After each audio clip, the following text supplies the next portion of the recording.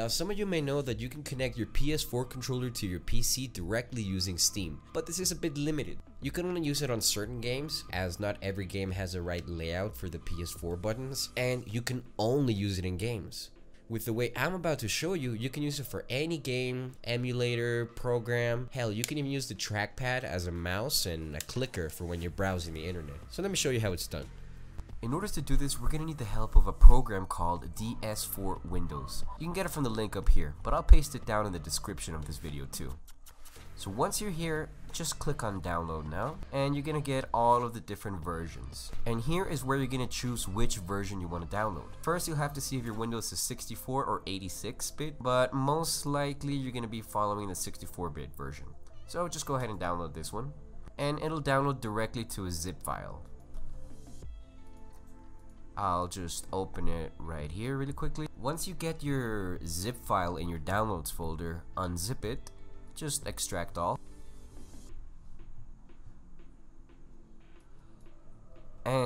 And when you open it, you'll see here that you have the actual application, DS4 Windows. The first time you open it, you might get this Windows protected your PC message but don't worry, that's just because it's an unknown publisher. It's not from a big publisher like Microsoft or anything like that. It's not a virus.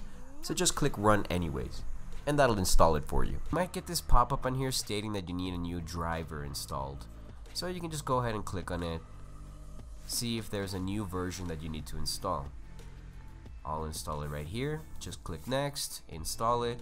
And this is just so that the PS4 controller can work correctly on your computer. Step 2, you can pretty much disregard unless you are on Windows 7. And you're just about ready to get your controller connected to your computer. Now, in order to connect your controller to your computer, we're to need to go to the Bluetooth settings of our computer. We'll leave DS4 running right here in the background and just look up your Bluetooth settings now I already have mine paired, so I'm going to remove the device, just so we can start from scratch. So you're going to need to put your PS4 controller in pairing mode.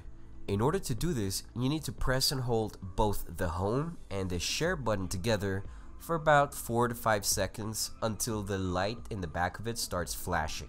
Once you see the light flashing, that means the controller is now ready to be paired. So go to add Bluetooth or other devices, here we'll select Bluetooth, make sure device is turned on discoverable, which it already is. And now it can be a little picky sometimes. It can take a minute or two just to detect it. So I'll just fast forward until we can actually detect it. Now it'll come up as wireless controller input. So just click on it and you should see connecting. The first time that you connect it, it's going to tell you that it's setting up a new device and you have to wait for it to finish. But we're pretty much done here. Now, something very important I forgot to mention. If you have Steam running in the background, which I do, you will need to close it as this interrupts DS4 Windows from using the controller. So, now that we've closed Steam, I can go back to DS4 Windows. Here it's going to ask you if you want to allow this app to make changes. We're going to go ahead and say yes. And now, as you can see, my PS4 controller is connected directly to DS4 Windows.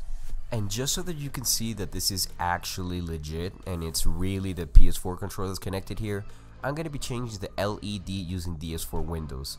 So here's a quick cell phone recording of me doing that. As you can clearly see, the controller is now connected to my computer via Bluetooth.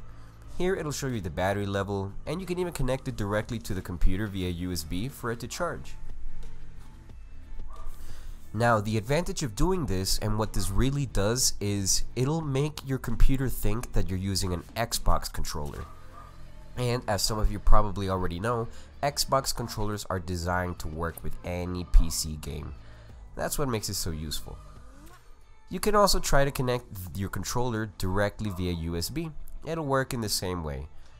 Here on the status, it'll change from this Bluetooth logo to the USB logo. But it works the same way. Now something I should mention that's a little bit wonky sometimes, if you take your PS4 controller and try to connect it back to your PS4 after you connect it to your PC, you will need to connect it to your PS4 via USB. Once you do that, the controller will be linked to your PS4 again. Now, if you want to go back to your computer and use it on your computer, you will actually have to go on here and remove the device and then repair it. It's kind of a bother, but it's the easiest way to do it. And simple as that, you're ready to control your PC using your PS4 controller. If you have any doubts or questions, leave them in the comments below. Like the video if you found it helpful, and make sure to subscribe for more.